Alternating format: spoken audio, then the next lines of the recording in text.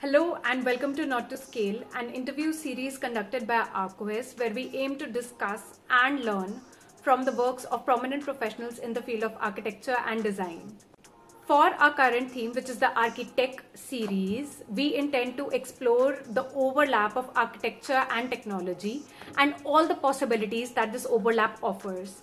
And we are off to a great start as today we are joined by architect Gautam Tewari, Mr. Tewari is the co-founder of SmartVizX, uh, the creator of world's first fully immersive virtual reality platform for the building industry, which he co-created along with his partner, Ms. Tithi Tewari. Mr. Tewari holds a master's degree in construction management. He's also a LEED accredited professional. After gaining global exposure as an architect, he launched Trezi in 2018. Trezi is dedicated to solving the issues and the problems faced by multiple stakeholders in the building industry by improving techniques of collaborating, communicating, and design visualization. They're doing so by making use of immersive technology and exploiting the power of virtual reality. Stay tuned for this enriching conversation and do watch the entire video. Let us know in the comments below what you think about it. Thanks. So, this buzzword has just uh, uh, you know started gaining momentum metaverse and everything and you've been here for quite a while like you've been in this space for quite a while. So uh, it's such a pleasure having this conversation with you. Welcome to Arcohes and not to scale interview series. Thank you so much. Thanks for having me over and it's indeed a pleasure. You know when we started out uh, it was a quite a tough proposition for us to first explain what immersive technologies are about what vr is yeah. about. And uh, uh, you know after about 15 minutes of setting up a context we used to go in and then start the discussions and dialogues but it's such a pleasure to uh, for me to hear that you already have done your research you have enough material you know about metaverse and we're starting the conversation from there. Right. So uh, developing a pioneer product like this and using this uh, you know fairly nascent technology mm-hmm. is what i would say a visionary would do to transform uh, a space and change it uh, for the better. And also to contribute to nation building at a larger scale uh, so did you always know that you wanted to play such a pivotal and a big role uh, in the architecture industry and uh, what gave you the confidence to take this plunge so uh, I'll tell you what, uh, Gunjan, the thing was not about uh, being a visionary. It was just about being a conscious professional and solving the problems that have plagued our industry since very long. You know, so uh, as you uh, mentioned when we started out, both both the co-founders, Tithi and I, we've been a part of this uh, uh, industry for nearly 50 years put together. You know, and we we were part of Indian and international practices as a part of our professional journey and uh, we got to experience at a very close quarter some of the pain points that have plagued our industry since forever and uh, you know we are the one of the largest industry the architecture engineering and construction industry the aec space and yet uh, we have always been known to be averse to use of technology to create uh, the issues that uh, face us. Now what are those issues? Those issues start right at step one when we are uh, you know dealing with our designs in a conceptual manner. And then as we go into various phases of project delivery uh, the the problems just keep compounding and keep growing in nature. And of course they get costlier as the uh, as the project goes towards completion and construction starts to happen so our endeavor really our commitment to each other and to the profession really was that uh, if we get the opportunity we should certainly do something that is going to solve the problems that have been around since forever like I said. Yeah. And uh, when we decided on taking uh, an entrepreneurial plunge, uh, our entre- uh, starting our entrepreneurial journey, uh, one of the key things that was being spoken about as a new emerging technology were immersive technologies. You know, virtual reality was being spoken about a lot, augmented reality, and all the big companies, uh, be it Facebook or Microsoft, even HTC for that matter, they were coming up with newer devices around in the VR and AR space so uh, we looked at these technologies. We saw what could be the benefits of use of uh, an immersive sort of an intervention in our profession. And uh, we created something meaningful, uh, something that could help uh, solve the kind of issues that we have faced uh, using this technology, and that was really it. You know, so more than anything else, I mean, more than being uh, labeled a visionary, I think I would just like to be called a conscious professional because that is what uh, really drove us to creating what we have created rather modest of you to say that because i mean you've been in this space for quite a while and like it is only now that these things are gaining momentum and right. Uh, the kind of uh, you know this has become the hot stuff metaverse and uh, people are using it more commonly. So you have a master's degree in construction management. When did you gain interest in technology and how did you go about pursuing that interest?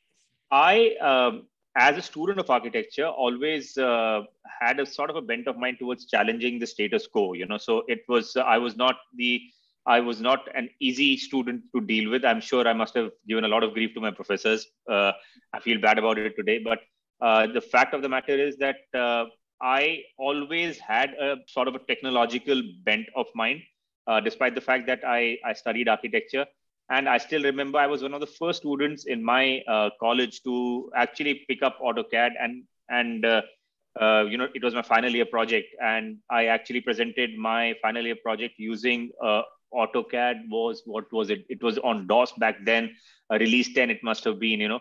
So uh, I, I did kind of move towards using technology or bringing a technology based intervention in my personal workflow or the kind of work that uh, i i personally liked doing so uh, while I was I was not really a software developer, so I can't really say that you know I was a, a big tech geek, but I, I certainly was not averse to the use of technology as a as a young professional either. So uh, when this opportunity came by in terms of bringing about some sort of an intervention that would take us away from the static way of communicating design, and by static I mean those 2D ways of representing our drawings and those 3D stills and trying to correlate 2D drawings and 3D stills with each other and then trying to communicate our design intent, which is a perfect recipe for disaster.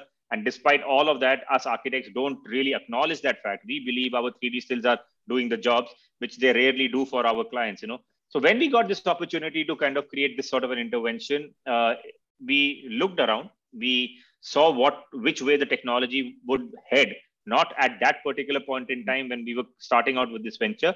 In fact, we saw what would be the trends that are being forecasted for the next uh, couple of decades, you know, and immersive technologies were really one of the biggest bets. Immersive technologies, uh, the growing use of cloud, uh, building information modeling, these were the big trends for our building industry and uh, real-time digital collaboration as well. And this, there was a report by Autodesk, I think in the year 2016, which identified six key main drivers for as uh, key tech drivers for our industry. And immersive tech and real-time digital collaboration were two of those six that they had identified so that is what we went towards that is what we identified and that is what we developed. So uh, it had nothing to do with me having a technology or a lack of a technology background. It is just that i think like i said i was always open to using new uh, methodologies uh, whether it be construction or it be technology and create taking those methodologies into our designs and projects uh, and that is what pushed us towards creating what we have created right. So it was the curiosity of technology the curiosity yeah i think that the, like i said right at the beginning challenging the status quo. You know there is one way that the world believes in that the world uh, does not like to challenge and we continue using that method uh, despite mm-hmm. the inefficacies despite the challenges around it you know. But if you were to take a step back and just question it you know do a bit of a rational thinking in terms of why is it being done this particular way? Is there a better way of doing this particular thing uh, I think that that the, the questioning mind is what I always had, and that is what led us to creating what we have created. Yeah, fantastic. Uh, so uh, you've raised funding at a very early stage in your startup, right? And that helped you uh, hire uh, skilled resources for your startup. Were you looking for anything specific in an investor, and what advice uh, do you have for young entrepreneurs who are just starting out and they're you know seeking funding? So, what advice do you have around fundraising? See, first and foremost, uh, fundraising should not be the end all be all for for any young entrepreneur. You know, so first and foremost, it should be about uh, going in and and finding a problem to solve and a real problem to solve. If you're solving a real problem, chances are you'll get customers, you'll get users. And if, if you're getting customers and users, I can assure you, uh, if your product usage is growing and your product is there in the market being used and renewed or whatever be the business model that you eventually work with, uh, yeah. the chances of you finding an investor is always going to be very high. But that should not finding an investor should not be the step one. You know, finding a problem, a real problem to solve, should be the starting point and uh, once you are in that situation where you can uh, go and pick and choose the kind of investors you work with, it's a it's a very tough situation to be in. Uh, some mm-hmm. find it, not all, everyone does, but uh, some certainly. The big companies that we hear about obviously kind of uh, are in that situation, but not every company finds itself in that uh, mode of luxury that you are picking and choosing the kind of investors you wish to work with. But if you do certainly are in that position, then I would really advise you to kind of ensure that you bring in investors who under, who kind of align with your long term vision. See every product every intervention does not scale up uh, like some of the others big successes some of the other big successes that we have seen you know. So there are some which requires patient capital. There are some ventures some uh, interventions some innovations that require a vision of 10 15 20 years. So make sure that if you've got a, in a long term play the kind of investors that you find for yourselves are those kind of investors who are patient with you, who help you uh, nurture your idea, grow, take you to the markets that help you get to the markets at least where your product will sell more or scale faster.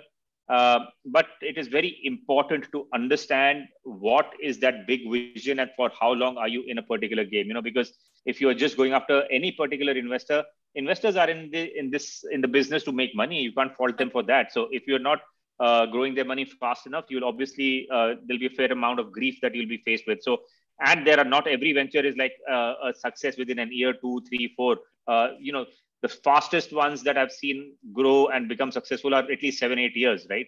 So, uh, and I read somewhere uh, a few months back that for anything to mature, for anything to be successful, you at least have to put 10 years in it. So, yeah. make sure you find investors who are with you to run that marathon and not not a sprint so that that would be my most sanest advice that I can provide, barring from the first one, apart from the first one rather, which where I said uh, finding an investor or starting a venture to raise capital cannot be. Don't be uh, blindsided or be be totally enamored by the amount of money the big boys are raising.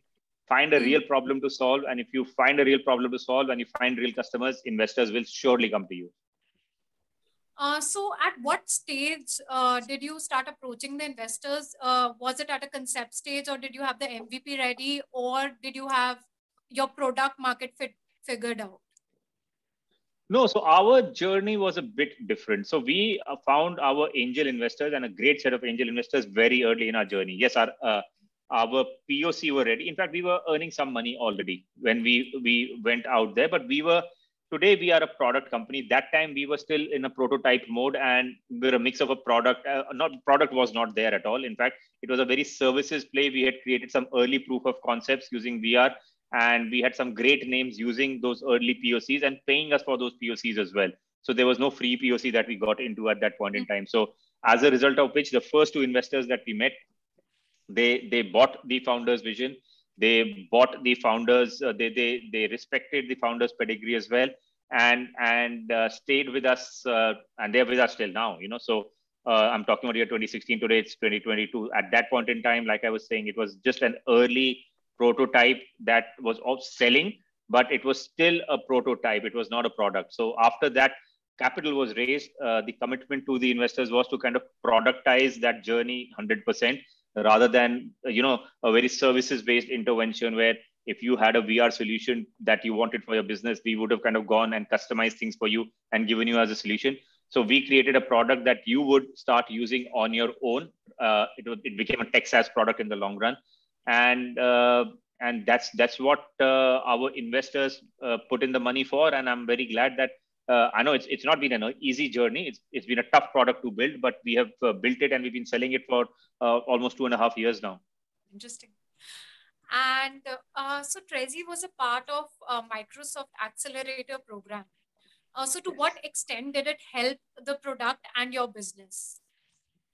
Oh, big, big help, massive. I think we were a very monolithic sort of a product. So what I was, what I just answered in the yeah. previous question, that uh, we had some early prototypes, we had good understanding of the technology, we were probably one of the front runners. Uh, there were very few companies who were doing work uh, to the level of quality that uh, we were doing work at, but largely very services, right?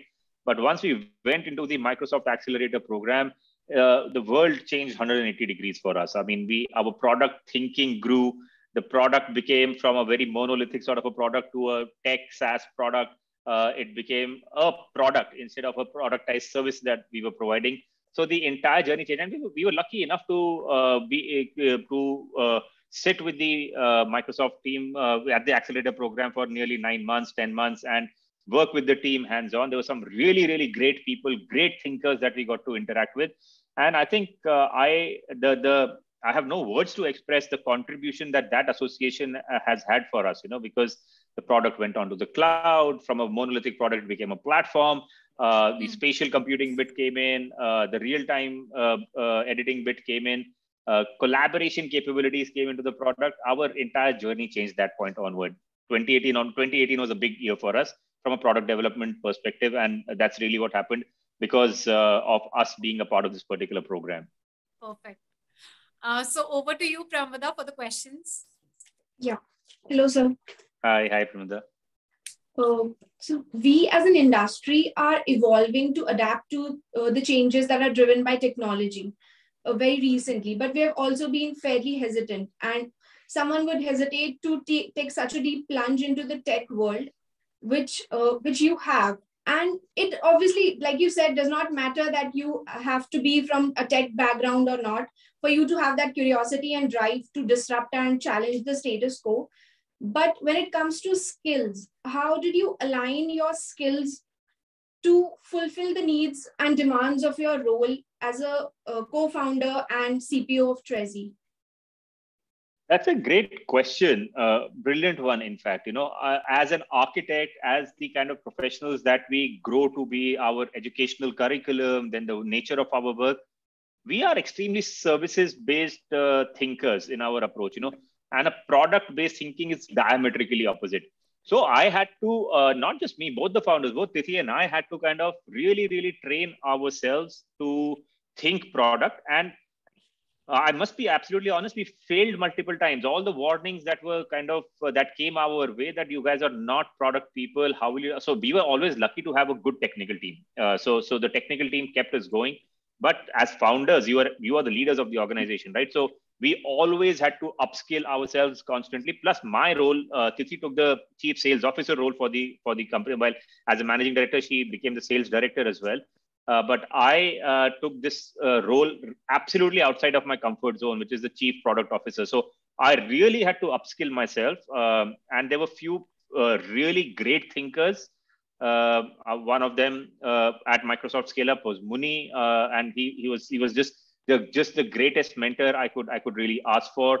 And then from from our the, the the first institutional round that we raised uh, we had uh, Dr. Vivek Mansingh and Sunil Goel of uh, Yournest VC uh, helping us understand, me in particular, understand what product philosophy really entails, uh, telling me what to read. And then there were some colleagues of mine also who came in, some great thinkers who uh, came in the role of the, you know, the product owners in the agile framework of product development. And by interacting with them also, I got the opportunity to kind of really train my thinking towards the product. You know i'll give you a simple example. Be- being services uh, oriented thinkers being a construction manager everything is all was always in a quick fix mode for me you know. So uh, so if there was a defect that comes up on site we send a team we ask them to fix it and come back quickly over a weekend fix it. And so that before the client or the customer goes back into the facility on a monday morning right? And i had that sort of thinking around bugs and various other things that come into a product as well. So i just wanted everything to be fixed overnight and just you know taking a deep breath and understanding that the bug fix is going to be a part of a disciplined uh, sprint planning process. So you're going to identify bug fix the bugs as a part of a particular exercise and in the next sprint bug fixes will come about. And so it's going to take about three to four weeks before the current set of uh, a set of bugs that are currently there in this current build are going to get sorted out. All that level of thinking i did not have. I, I actually built that. Then i did a few certification courses along the way read a fantastic book called, uh, and I recommend it to those who would be listening to this, uh, uh, The Four Steps to the Epiphany by Steve Blank. one of the most brilliant books I have ever read about product development. That's become my Bible that sits on my uh, uh, on my work desk at office. It sits on my uh, head headboard at home. So whenever there's some confusion, I just kind of pick that book and read. Steve Blank, incidentally, is is the guru of Eric Ries, who who started the lean startup movement. So so some of these things, some of the upskilling really was a conscious effort through uh, really. I mean, we're blessed to have folks like the folks that I mentioned that that came along in our journey at Microsoft Scale Up program through our uh, through the uh, the people that we got connected to through uh, the fundraisers that we did. And uh, today, I feel very confident that if I was to kind of start building a new product, I would start the right way. But uh, two years back, it was a it was a big uh, struggle that I got into. But then the magic happens outside of the comfort zone, right? And I think that's that's what I'm really experiencing now. You two, as leaders, you and uh, Ms. have come so far without a CTO, right? Yeah, we do not have a CTO yet, uh, but I think we were but, we we were not in that state of the journey yet. Now we are looking actively looking for a CTO because the product market fit has been achieved, and uh, product renewals are at 85%. In fact, product usage is growing 30% month on month, and we've got some really really exciting plans for the for the. Uh, so like like uh, Gunjan was saying, metaverse has become a fancy word now we have been talking metaverse for the past three years ourselves you know and the amount of metadata that that our in- industry really comes up uh, uh, you know deals with and how that entire set of metadata comes into our Treziverse and how we interact uh, interrogate it interact and edit it and how we call other people in as avatars and interact with our 3d design models. So we have been slowly and steadily building and of course there are voice-based capabilities inside the Treziverse as well. So we've been slowly and steadily building our own little metaverse as well you know. So uh, till that time to, to get to where we have to get to we uh, we have had tech leads who kind of uh, helped create what has been created. But going beyond uh, now that web3 is going to be big uh, in this particular play uh, nfts may start surfacing as well i do not know but i mean we are still ideating about it we certainly are very actively looking for a cto so in case any good candidate hears this what we're talking as we're talking uh, I would invite anybody to kind of come and contact me on my, these girls would have my email ID and phone number. I'm sure please do write to me. Awesome. So like we said, what you're doing is driving a fundament, fundamental transformation in how the industry collaborates and communicates. But for it to become mainstream, the habits of industry professionals must change. Hmm. Do you intend to play that role in habit formation, skill development, and for the ease of adoption of this technology? That's another very smart question. I must say, I'm really, really thrilled to be answering these questions.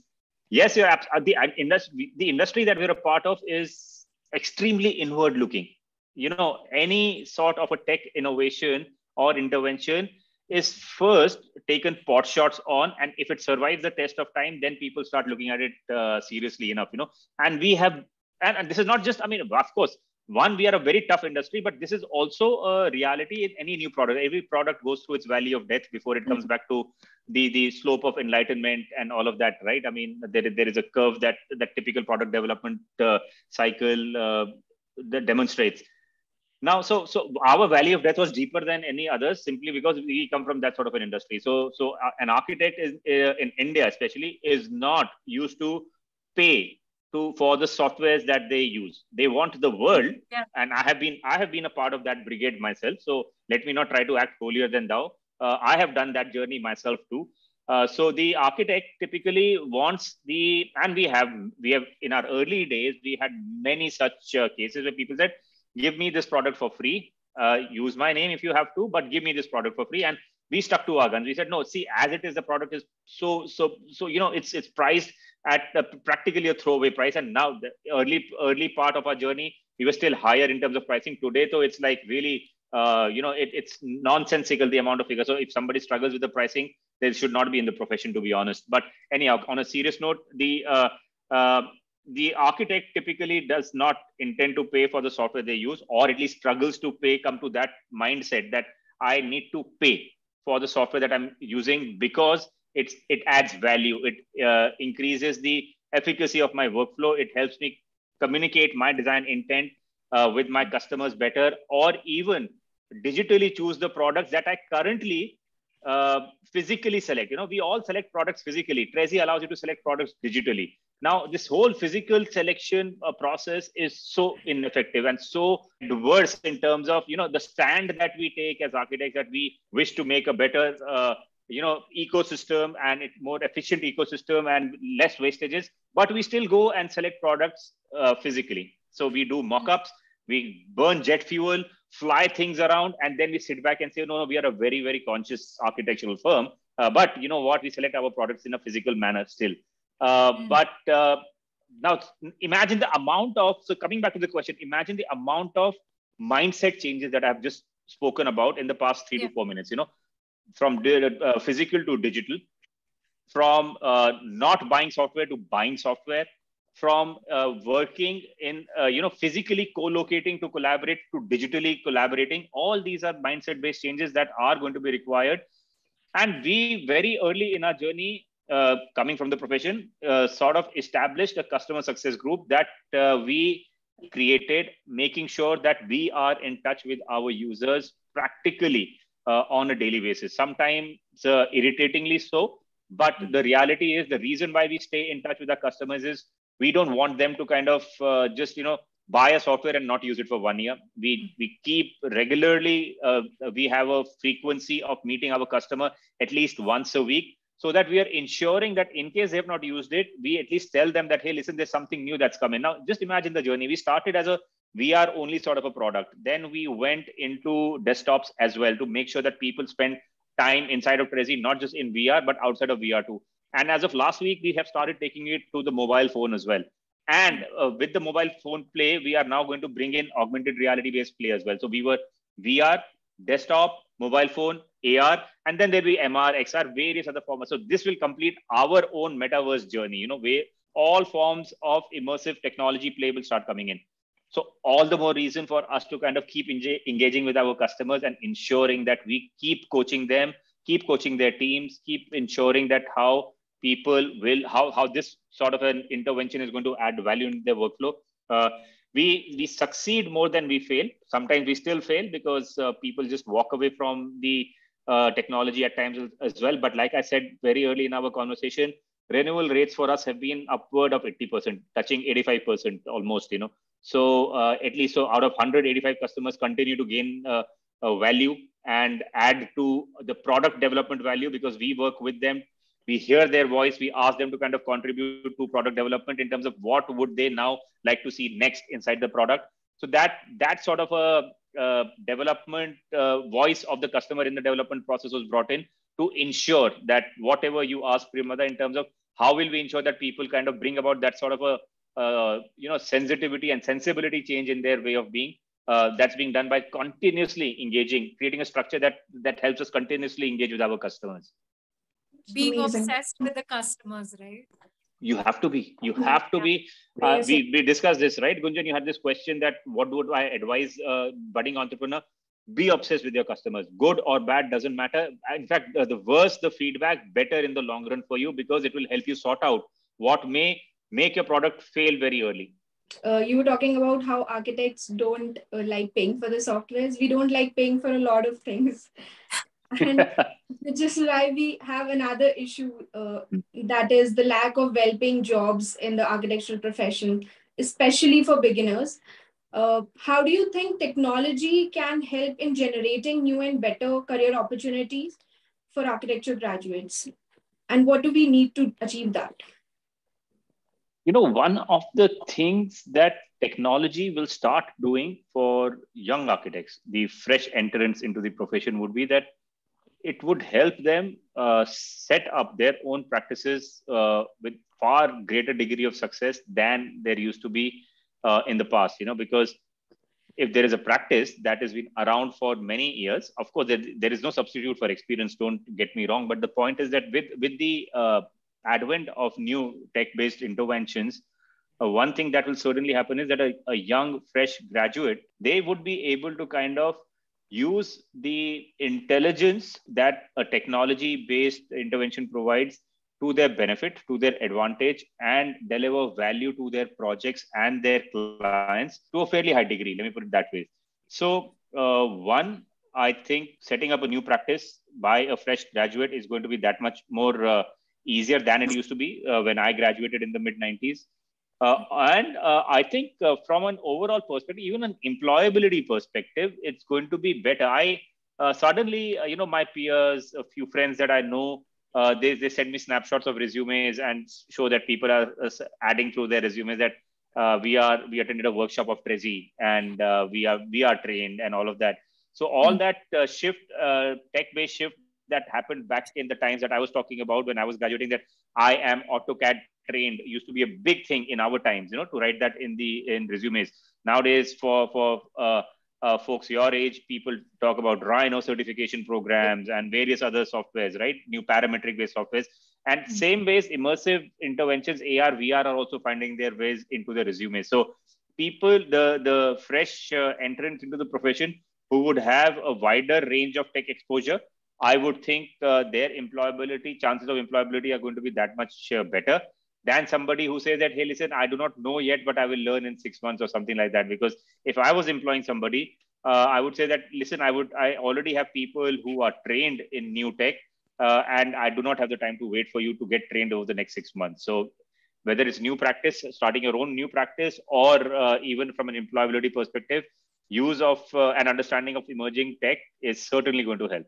Right. We can now move to rapid fire with Gunjan. Yeah, just before that, I had a question uh, regarding uh, the material selection that we were talking about. Uh, you said that, uh, you know, people still go in and uh, they make sure to get mock ups done and they burn fuel and all of that. Uh, so there must be like a lot of challenges involved uh, around creating that setup where you can test materials because what happens is you're testing them in artificial light you're testing them in natural light how they look how they appear and at what angle. So like how are you trying to combat all those challenges? Yeah so uh, material performance inside of uh, a simulated environment is something that we will eventually want to get to. But material performance, uh, for material performance, there are enough other softwares that exist, uh, right? I mean, whether it's it's the external facade, uh, the kind of heat gain, uh, U factor, various other things that that a glass facade is going to be performing at. Those performance-based criteria or calculations are not happening inside of VR. They should eventually, whether it's acoustic or it is heat gain or whatever be the expansion properties of a material I think technology will eventually reach that level also. But in terms of finished product, and I, I, I, was talking about finished products, we are focusing on finished products. It's the chair that you're sitting on, the light fixture above you, the tiling, the uh, the uh, stone, the marble, the wood, uh, the workstations. So there is a f- huge physical, I mean, half a trillion dollar, five hundred billion dollar worth of finished product segment that uh, that the world uh, has uh, kind of our world deals with on a day to day basis. Yeah. Now, there is a huge amount of physicality involved there. What mm. is the height? What is the length, breadth, uh, length, breadth, width, height? All those aspects.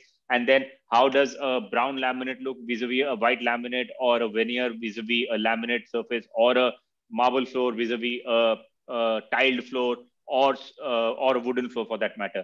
Now, that physicality of material selection, and I'm not talking performance. i am being very clear uh, so yeah. physicality of product selection is what I'm I'm more interested in kind of supporting currently. One mm-hmm. thing is that uh, the final touch and feel is not going to go away. Final touch and feel is always going to remain. But right now, we do the product selection in a very whimsical manner. And like I said, I have been guilty of that myself. If I if somebody has got 10 options, I would ask them to send me 10 options and then look at just one to select. Now, my yeah. point is that from 10 to 2, that journey we can do using uh, immersive technology. The final two will do our selection the way we have been continuing to do so, but at least do that 10 to 2 wala journey using new uh, new in age interventions. And eventually, I can promise you, in 10 years from now, inside of this virtual environment, inside of this metaverse, we will even bring in product performance, and we will even see how an external glazing uh, performs in a particular environment uh, in a particular climate and how a material or an expansion joint performs at a particular time of the day for uh, designers and structural engineers to make a conscious call in terms of what works better for them and what does not. Interesting. Very interesting. Uh, so we have the last segment, that is the rapid fire segment. Uh, so you need to be very quick with your answers and um, I, I would need you to be very candid and okay. open about it, right? Mm-hmm. Uh, so the first question is, um, how do you see the future of the industry shaping in the next five years? Future is immersive. Yeah. Uh, so what is the secret behind all these distinct looks and all your videos and photographs over the internet? I think I'm just a very uh, fidgety person. You know, I, I, the constant is not for me. I need the change is the only constant in my life. Yeah. Interesting.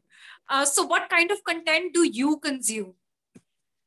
When you say content in terms of reading or just uh, casual content, casual content. Anything. It could be podcasts. Oh, it could be uh, what social media I'm a, follow. Yeah, yeah. So I'm I'm a big Spotify fan. I I I listen to a lot of. Uh, I mean, I used to read a lot, but now it's audiobooks for me. Uh, so I I listen to a lot of podcasts. I listen to a lot of music, and uh, Spotify there is my favorite app. So, uh, what are your top recommendations for podcasts? So, I, uh, you know, there is one that I heard, uh, I think uh, probably six months back, but I heard it very late. It, it has been around for a couple of years uh, by a neuroscientist. It was just just about uh, the state of happiness, the, the mental training. I'm a long distance runner, so the the whole aspect of mental training is very big for me you know and when in say 30 or 31 days 34 days uh, when you're doing a particular discipline day in day out how that becomes a habit and uh, ash uh, ranpar i think it is. And he talks about the power of habit. That's my favorite recommendation right now because end of the day it is all about being uh, consumed by the habit that contribute to your success you know. So whether it is about a sleep pattern or it is about a nutritional pattern or it is a training pattern it, it is all it all resides here. So any young entrepreneur they will also need to find the pattern that uh, helps them succeed and uh, that that podcast was fascinating i heard it uh, start to finish and uh, uh, i certainly recommend that right and uh, what is your favorite book to read and what are your recommendations for entrepreneurs to read so i named one already but my favorite most book ever is Lord mm. of the Rings. I have probably read it 11 times. Uh, I started it the 12th time during the lockdown, but I did not finish it. Uh, so Tolkien, I, I really, J.R.R. Tolkien is my favorite author, has always been. So I have read all his books and I even went into his select works like Unfinished Tales and the Silmarillion, which not many people read. Uh, mostly read, mostly the folks read only Hobbit and Lord of the Rings. So uh, that is certainly something that I, I am uh, that has been a part of big part of my life, Lord of the Rings. Uh, the other author that I have really enjoyed reading uh, is uh, Alvin Toffler, the futurist. so back in college, in my first year, one of the first non-course related book that was given to me was Future Shock by by my roommate who was a final year student at that point in time, and I think that was one of the best training ground that I could get to share a room with a fifth year student as I was a first year i was a first semester student. And because i got to expand my thinking to a certain extent because of that uh, camaraderie and that bonding that i developed with my room partner back then. Um, the, the, there's some other really fascinating books uh, that I, I recommend. The book that changed my life uh, six years back was a book uh, called Born to Run by Christopher McDougall. And uh, that book uh, just took me to long distance running uh, first time ever. So I really started uh, running when I was 40 uh, already. And uh, since then, I've done some about, uh, I think, 25 half marathons and some 14, uh, 12 full marathons, including three in Ladakh. so my journey as towards the power of mind changed with that particular book because running is a lot about power of mind. The habit yeah, podcast that I was talking about. And endurance and persistence. I mean it must take a lot uh, to carry out that sort of marathon i think per, per, per, persistence is key. The word that you selected rightly is persistence because when you're persistent and you are actually doing something day in and day out just like the power of habit podcast that i was talking about uh, mm. it is uh, it is something that really really uh, leads to every success in a many mul- multiple fields you know so endurance comes about because you are uh, persistent. If you're not persistent, there'll be no endurance. And if there is no endurance, then tough times are a part of life, are a reality of life, right? And so you have to endure those tough times to kind of get across and come to a point in life, uh, in your career, in your entrepreneurial journey which takes you to success but nothing there is no success overnight success at all. Yeah. i remember a fascinating uh, uh, quote by i think it was travis kalanick if i'm not wrong. Uh, and he mm-hmm. said that i i spent some nine years uh, preparing for my overnight success. Overnight and uh, and that's uh, that's what it is about you know so there rarely does an overnight success happen because easy come easy go otherwise. Something that happens too fast success that comes very quickly goes away also fairly quickly True. And uh, people say that uh, you know entrepreneurs are consumed by their venture. So how true is it for you? And what does work-life balance look for you? See, uh, it's all com- consuming totally. There is absolutely no two ways about it. Uh, if if your venture does not consume you, if if you are not crazy about it, the the amount of struggle it's very tough entrepreneurship is not easy you know so if it doesn't consume you if you do not see the success beyond the the, the repeated failures that will come into your journey it is very hmm. very tough uh, for you to kind of go beyond those those early jitters or even mid stage jitters or daily jitters that will come your way uh, hmm. but my my my genuine my honest and my humble advice to any uh, young entrepreneur is that don't do that at the cost of uh, giving up on certain other passions that may kind of come handy to you. You know like my hmm. passion is is running. My passion is music. So i i ensure that i i still spend about 10 to 11 hours or at work whether i'm working from home or i'm working in office.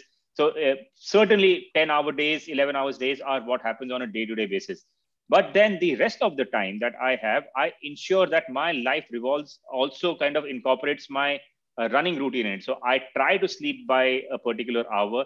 I wake up very early. I'm a very early starter. I finish mm-hmm. my work uh, running routine by 4:30, uh, starting at 4:30 a.m.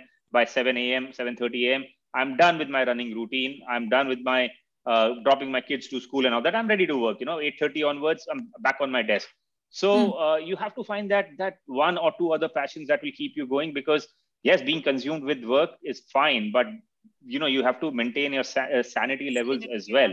if you do not do that then uh, no matter how consumed you are with your venture uh, you are not going to go you will not last long enough for it to become a success you know. Definitely definitely so, uh, what uh, courses do you recommend uh, for fresh graduates right out of architecture college to undertake to make a career in AR uh, and technology? I'll come to that. Sorry, one book I left on your last question. Steve Blank's uh, Four Step to Epiphany. I had said that earlier also. That is a certain recommendation. Most certainly, absolutely a must read for people who want to go towards building products and interventions in our profession yeah sorry. Uh, your question was what courses i recommend? what courses yeah. See i i'm not sure if i can i, I am uh, worthy enough to kind of answer that one. You know i kind of spent a lot of time finding courses uh, in terms of uh, software development practices uh, when i i uh, during the lockdown and as my my chief product officer role was gaining far a bit more momentum than it had in the early days of the venture so mm-hmm. i i built into my personal thinking from just my personal perspective what has really helped me is understanding of uh, you know agile practices uh, mm. the scrum plannings that go into product development uh, and which allows you to kind of understand disciplines like um, uh, you know sprint planning grooming and uh, daily stand up practices so the you know i got a scrum certification as well so mm. i my my most of my courses were uh, done through coursera and there are mm. enough software development uh, the basics uh, of software development the advanced principles of software development practices uh, the uh, understanding of uh, scrum methodologies those courses helped me a lot but mm. again uh, if i was a fresh architectural graduate today i mean if i was to go back in the into 1996 the courses mm. that helped me at that point in time was of course my master's degree expanded my universe in a big manner so uh, construction management was just coming up at that point in time. So uh, going towards uh, construction methodology based innovation courses that will help you uh, all see we are doing a tech based intervention in the in the uh, digital side from a design communication collaboration perspective but then there is also a huge big world of construction itself right yeah. there could be courses that uh, will allow you to innovate in terms of the structures, how constructions happen, the the heat maps that you need to kind of create for your buildings uh, to be effective, the uh, the construction methodology, the formwork based, the concrete setting time. There are so many hmm. things that that are out there. So maybe a construction methodology innovation based program could be very useful because those interventions are also something that uh, the industry needs uh, because we need to make our whole construction uh, practice also that much more effective, not just in terms of the digitization of the process, but the actual mm-hmm. construction itself. Right. And uh, what are the top three skills that a fresh graduate must have if they want to take up uh, this technological uh, aspect of AEC? Any top um, three skills? I, I think first and first and foremost, being brave is the first thing that I, I must absolutely. I think I, I'll tell everybody. See, one is uh, about just following the leader. The other is being the leader, right? So be hmm. brave, mm. be a leader. I think that's that's that's the first thing that should be there. Learn to challenge status quo. Part two. I mean, step two. Absolutely. If you are just going to see what is happening, pick that up and you know i mean i keep telling my my team members uh, a lot of i use this this quote a lot that you know flogging a dead horse is not going to kind of make the horse stand up and go win a race you know a dead horse is a dead horse so mm-hmm. challenge status quo find newer things to do and and then third and most important is be persistent. You have to stay persistent uh, and you have to kind of stay uh, ensure that if you're starting something you see it to certain degree of completion at least. You know losing patience and then saying yeah nahi, i should have just uh, had a success within the first week or within the first month or within the first year. Rarely does that happen. Yeah, i hmm. would love to see somebody who's created a huge uh, success within the first year I mean, pick up all the big companies, be it Amazon, be it Microsoft, be it Apple. I mean, hmm. uh, I'm just taking very big names, but I mean, closer home, look at the Zomatos or the Paytms of the world how much time they have been around, how much time those founders, hardships those founders would have gone through, you know. So persistence is key. So uh, be brave, uh, challenge status quo, and stay persistent. Those three traits, uh, if you can imbibe and uh, internalize, I think the chances of you succeeding with whatever be the adversity that comes your way would be fairly high. And adversities are going to happen. There is yeah. absolutely no two ways. There, you cannot have a smooth ride uh, if you wish to in anything in life forget being an entrepreneur uh, it's just life life is not smooth life is hard yeah definitely and uh, what uh, is your take on the theory of us living inside a simulation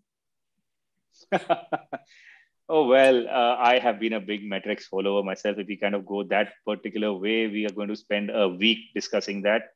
Uh, as a theory very interesting. As a theory very interesting but uh, to each uh, their own. So when you read or you watch uh, matrix revolutions and uh, you find it it's extremely fascinating to think about the possibility of that actually being true but it is not you know so that's the reality of it. So we are not inside a simulation. We are going to be creating worlds that will be simulated.